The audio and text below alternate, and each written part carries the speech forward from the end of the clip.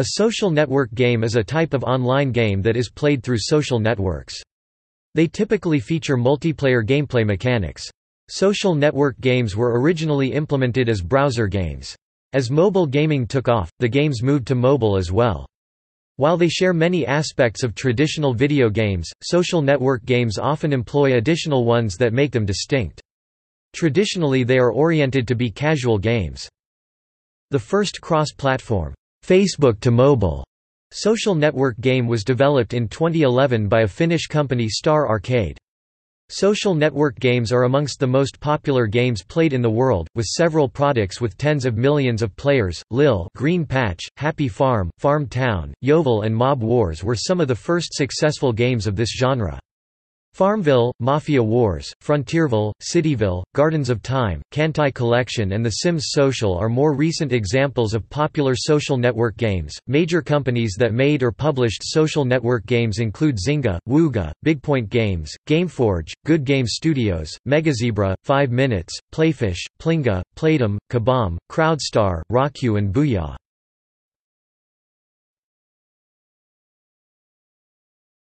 Topic. Demographics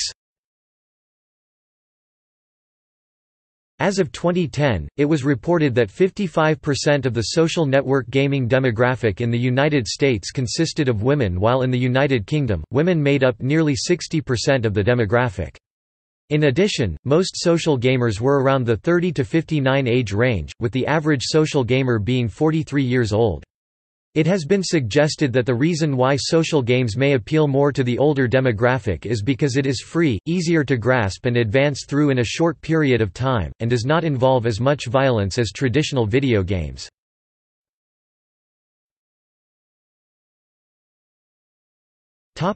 Technology and platforms A social network video game is a client-server application. The client in the web era was implemented with a mix of web technologies like Flash, HTML5, PHP and JavaScript. When mobile games moved to mobile, social game front ends were developed using mobile platform technologies like Java, Objective-C, Swift and C++. The back end was a mix of programming languages and systems including PHP, Ruby, C++ and Go. Where social network video games diverged from traditional game development was the combination of real-time analytics, to continuously optimize game mechanics to drive growth, revenue and engagement.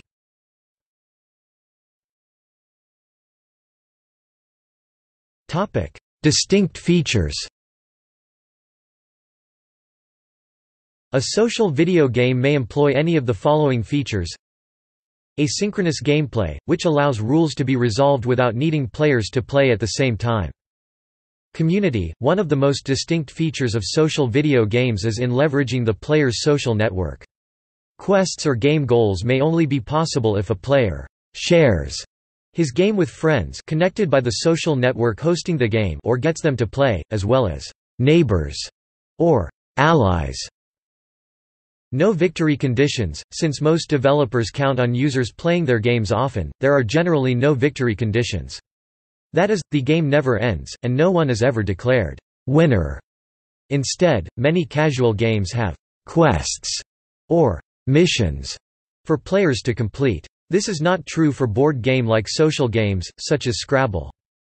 Virtual currency – Social network games use virtual currency which players usually must purchase with real-world money. With the in-game currency, players can buy upgrades that would otherwise take much longer to earn through in-game achievements. In many cases, some upgrades are only available with the virtual currency. The following table outlines common characteristics of social games, mentioned by Bjork at the 2010 GCO Games Convention online.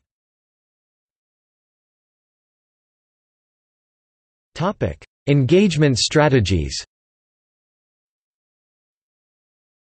Since social network games are often less challenging than console games and they have relatively shorter gameplay, they use different techniques to stretch gameplay and tools to retain users. Continuous goals The games assign specific goals for users to achieve.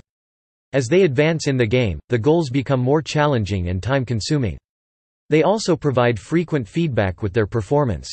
Every action will translate towards a certain goal that will be used to attain higher gaming capitals. Gaming capitals, players are encouraged to earn different badges, trophies, and accolades that indicate their progress and accomplishments. Some achievements are unlocked just by advancing in the game while others may significantly alter the rationale behind the game and require extensive investment from players. The ways of gaining gaming capital are not limited to playing games but the games-related productive activities that are appreciated in the player's social circle too. By accumulating gaming capitals, they provide an intrinsic benefit to gamers as there is an avenue to boost their accomplishment and showcase their expertise of the game. The achievements are visible to their network of friends. Gaming capitals are a way for developers to increase replay value provides extended playtime, and players get more value from the game. Motivation for collecting gaming capitals 1. Legitimization – refers to society's willingness to approve or condone certain behavior. Collecting is about channeling one's materialistic desires into more meaningful pursuits. Game achievements serve a similar purpose, allowing players to justify the hours spent playing the game. Point 2. Self-extension, gathering and controlling meaningful objects or experiences can work to gain one an improved sense of self. The collector's goal to complete a collection is symbolically about completing the self too. Events timed to real world. Popular games such as Dragon City and Wild Ones require users to wait a certain time period before their energy bars replenish. Without energy, they are unable to conduct any form of action. Gamers are forced to wait and return after their energy replenishes to continue playing.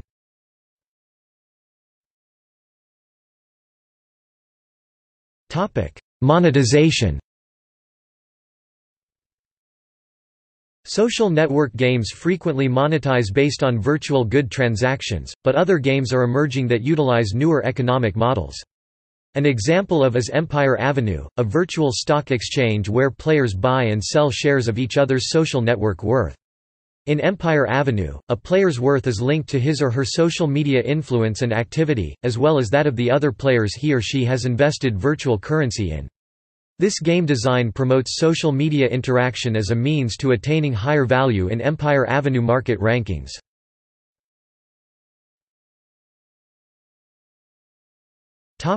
Virtual goods Gamers will be able to purchase in-game items like power-ups, avatar accessories, or decorative items users purchase within the game itself. This is realized by monetize products that don't technically exist. Virtual goods account for over 90% of all revenue generated by the world's top social game developers. Designers optimize user experience through additional gameplay, missions, and quests, without having to worry about overhead or unused stock.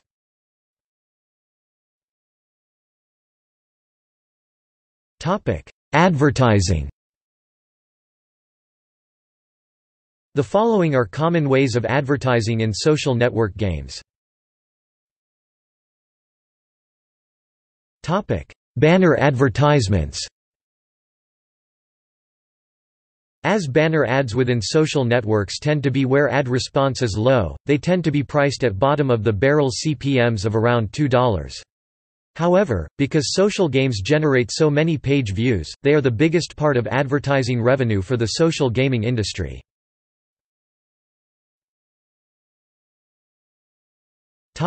Video ads Videos are the ad format with the most revenue per view. They tend to be higher priced, either by CPMs $35 plus CPM in social games or cost per completed view. According to studies, video ads result in highest brand recall thus a good return on investment for advertisers. Video ads are shown either in in-game interstitials e.g. when the game is loading a new screen or through incentive-based advertising, i.e. you will get either an in-game reward or Facebook credits for watching an advertisement. Topic: Product placement. A brand or product will be injected in a game in some way. Due to the variety of ways in which product placement can be accomplished in any media, and because the category is nascent, this category is not standardized at all, but some examples include branded in-game goods or even in-game quests. For example, in a game where you run a restaurant, you might be asked to collect ingredients to make a Starbucks Frappuccino, and receive in-game rewards for doing so. As these product placement deals are non-standard, they are largely charged with a production fee, which can be $350,000 to $750,000 depending on the type of placement and the popularity of the game.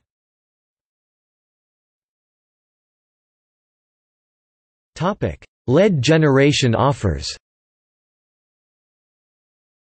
Another form of advertising that is prevalent in many social games are lead generation offers.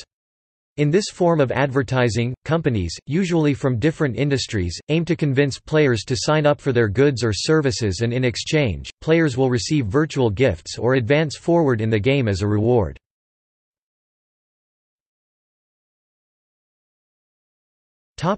Sponsorship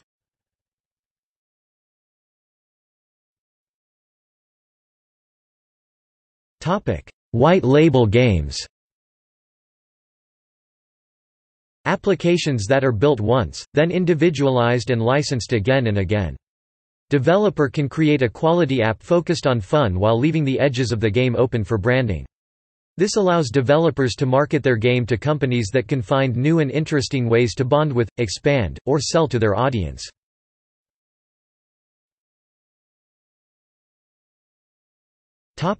Social gaming as corporate promotion Large established corporations are using social gaming to build brand awareness and engagement. The Walt Disney Company's Disney Animal Kingdom Explorers was developed to create awareness of Disney's theme parks and also promote conservation. The gameplay is divided evenly between two main elements, finding hidden object and large assortment of animals, and also includes simulation for players to build their own nature preserve. Players are expected to work with friends to collect the necessary materials to grow their habitat, while the hidden object element set players to compete for the highest score in their social setting. Some large established video games developers are acquiring small operators to capitalize on the social gaming industry. The Walt Disney Company purchased social game developer Playdom for $763 million, and Electronic Arts purchased PopCap Games for $750 million in July 2011.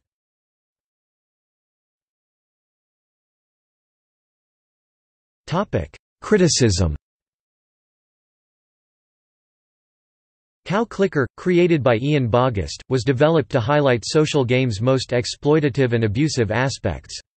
The game requires users to click on a picture of a cow every six hours to earn points. It also prompts users to encourage friends to join in to help them gain more points. Cow Clicker was clearly designed to ridicule other social media games such as Farmville, yet 56,000 users played it at its peak.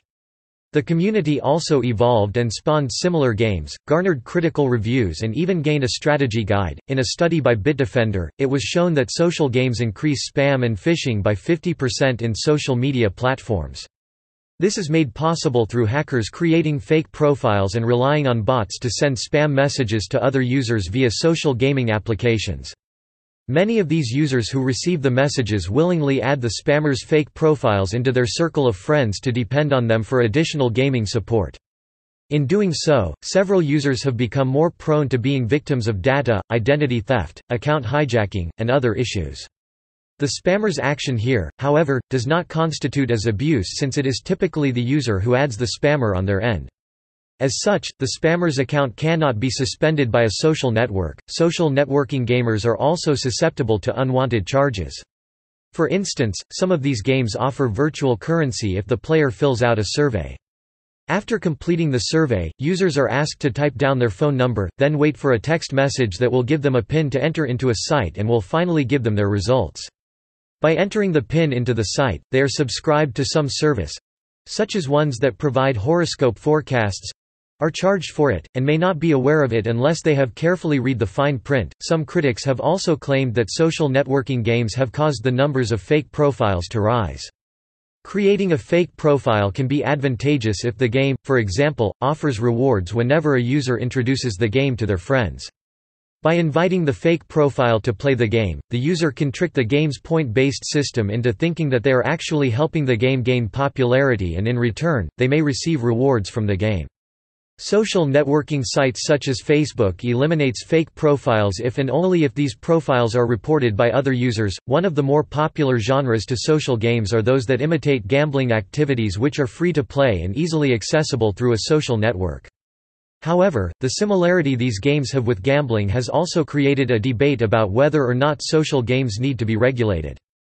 Several policymakers from various countries—Australia, Belgium, Spain, and the United Kingdom, have shown concern about the potential and negative impact these games could cause.